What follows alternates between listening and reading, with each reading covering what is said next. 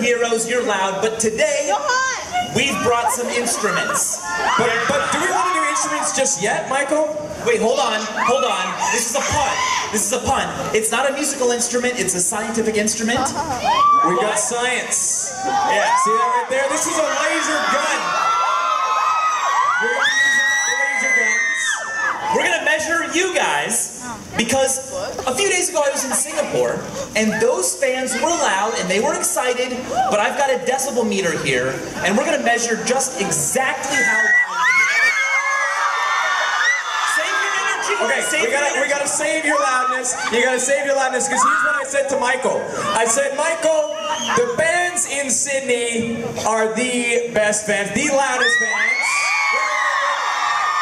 In Singapore, they made it to 113 decibels. 113, let me put that in perspective. 90 to 95 decibels for an extended period of time causes hearing damage. That's right. It is against the law to make you work in a place without hearing protection if it's over 90 decibels. So this room, we've already clocked it at 102 decibels Backstage. before we got Now, out here. Here's the challenge. Think you guys can do it. Well, it's going to be a tough challenge.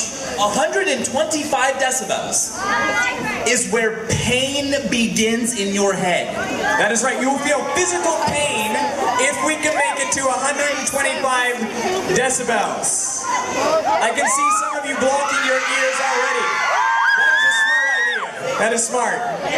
And remember, decibels are a logarithmic system, all right? So, to go up just three more decibels, you will need to be twice as loud.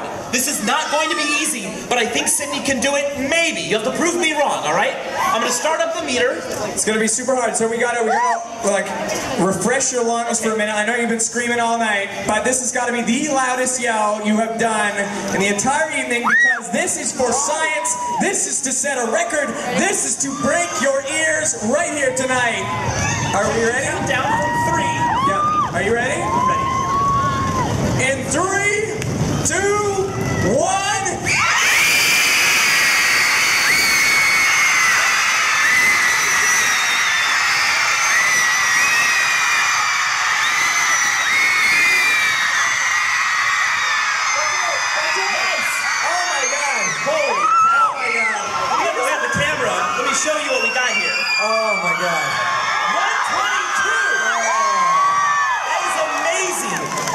What we just did was all Sydney is victorious.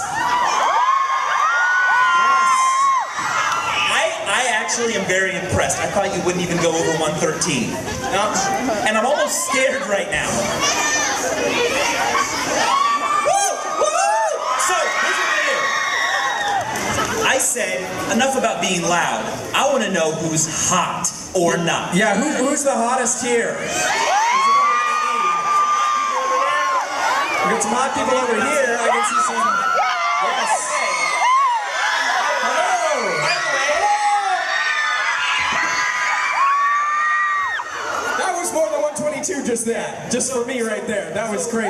Derek is clearly hotter than me, but I want to know about hot temperatures. Man. So tell us, Derek, about what you're holding. Well, this is your where the laser gun comes in. This this piece of gear fires a laser. Well, it's not. See, it'll be Derek, be fine. careful. I, I am careful. Shine it on my hand to show them. Okay, we're shining a laser on Michael's hand. See this? And this actually reads his temperature. It is currently, his hand is about 28 degrees Celsius. 28 degrees Celsius. He's not that hot, all right? He's, he's decent. I don't know if you can see that. Are you hot?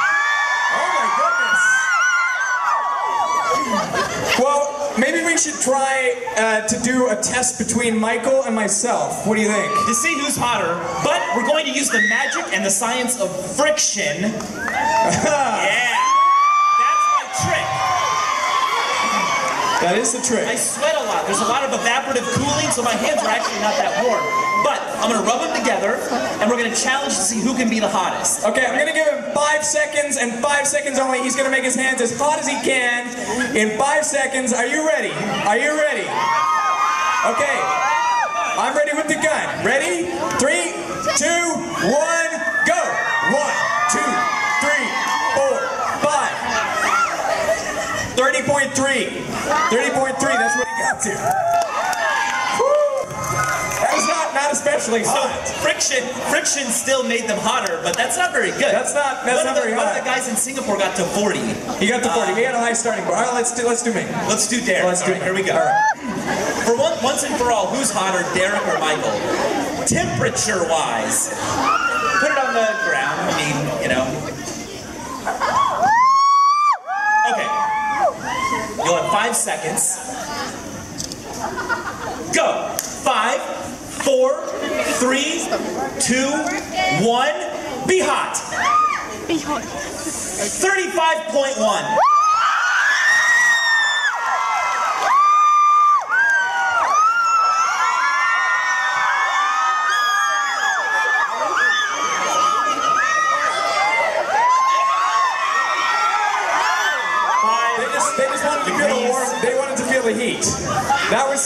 scientific what I was doing there. I've been put in my place.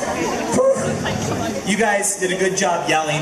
What I want to do now is share with you some important information. A Q&A. Let's bring, let's bring, uh, Maz, Maz, come on out here. Thank you for joining us. Not sure about wait, can I take your What do I do? temperature? Yeah? It's your surface temperature. Show me your hand. Okay. 25. Is that 25, that's kind of chilly. No, no, no, it's not chilly, it's cool. very good? You're welcome. Hey, can I just say, guys, that when you were rubbing your hands together, the view from backstage. Did that look creepy? Oh my god. I should be hot. Like, I should be blushing. To see your cute little butts wiggling like that it was really cool. Wait, you were- let me check. 33.8. Yeah, there it is. That's a hot face. Okay. Hey, So, we're all on stage together. Can I ask you a couple of questions? Can I ask you guys a couple of questions? Yes, please ask away. And That's we've got a video that we want to roll as well. Oh, really? Which I believe there's some video footage. Yeah, yeah, Should let's watch check it that out. first? Let's do it. Let's, Let's, do watch some video. first and All then right, we'll let's do it. Okay. I am here at the University of Sydney. Here are some facts about great white sharks. These just are tall. Some of them are over 100 meters. Book or the hard drive? The temperatures. How do their temperatures compare? Electrochemical combination mimics the input of the brain. Incredibly able to walk again. It is virtually, it is impossible. This is gyroscopic precession. Hey, hey, hey, hey. Sauce, Michael here. Sound. Unreactivity. How much does a shadow weigh? You know, those moments where the current situation feels like it's happened before. Yeah, we've done this. This is great. Ah, okay, okay, we gotta get back to the show. I want to know um, how, like individually, how, like, how did you create these personas that are like world famous now? How did it all start? Does anyone know where the name Vsauce comes from? No. Does any, is there anyone that would know? One person. I've been watching it for years. I never. There he is. Here's, here's the guy. Yeah. It came from a fake name generator. It means nothing. That's It just came out of the, the, the randomness. Funny enough, Derek and I have been working on an episode about that very topic. Randomness. Yeah. It's gonna, it's gonna blow your minds. It's uh, what we've been collabing on in Sydney, and I'm very excited to release it. It'll probably be a week at least. Yeah, but it's going to be super fun. It's gonna be super awesome. That's why it takes us extra time. I love that. Now, out of all the things that you've done, and there's been a lot, Just is there one moron. standout moment that you have loved the most on this journey so far? My favorite moment on the, on, eh, you know what it is? It's being in Sydney. Yeah, it is! Because Derek and I have come with a couple of facts about Australia. Okay, let's hear them. All right, who should go first? Uh, you go first. You go first. This is Michael has learned a lot about Australia in the last few days. I've been teaching him, showing him around, uh, and and this is the this is what he's learned. This is kind of crazy. Get ready to have your mind sort of, if not blown, definitely tickled. This is really So, cool. This is really cool. Check is- it out. There's an extinct Aboriginal language called Mbabaram, which was completely developed independently of English. And when we started to archive their language and ask them what they called different things in the world, I kid you not, this happened. We asked them, what do you call that? And they said, dog. And we said, no, that's, we call that a dog. You must have misunderstood. What do you call it in your language? And they said, are you kidding me? We call that a dog also. Yeah. What? Completely independent languages came up with and used the exact same word to describe the exact same thing. Exactly. Yeah. Now, Yeah. maybe it's magic, but probably not. It's probably probabilities. If you think of how many words there are, how many people and cultures and languages and things to name, it's actually not surprising that it happened once that we know of. Yeah, I, I still think it's very surprising. Yeah. Also, go, also go dogs, right? Like, good job. Dogs being named the same thing. That is awesome. That is that is excellent. That's a pretty amazing fact. I did not know that, and I'm Australian, so You learn something new every day, and that's I why just life did. is so sweet. I just did. Now, you guys are obviously both very smart. Is there a word? My favorite word is discombobulated, and I feel like it makes me sound smart. Is there a takeaway tip that you can give everyone here, like a word that they can use in a sentence to make them sound a little bit smarter than what they might actually be? I, I was going to throw out my word here. When I was a kid, the word that I tried to impress people with was anti-disestablishmentarianism. Wow. Yes. It's a good one. Yes. Good. Now, do you know what it means? I believe it's something. I, I, I, it's going against the church or something. The standard. Rebelling? It's is rebelling. it a fancy way of rebelling? It's a fancy way of rebelling. There you go. Can we get it one more time? Anti-disestablishmentarianism. Okay. It probably won't fit on a hashtag, but it's a good word. Do you have a word? Hashtag.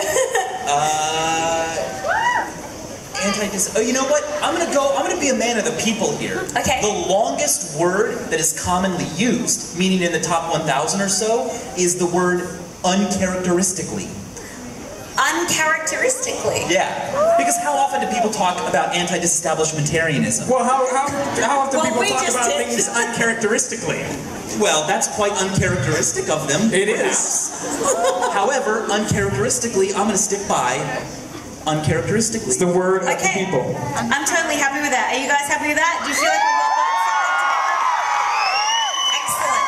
Uh, just before I let you get off stage, I do have one question.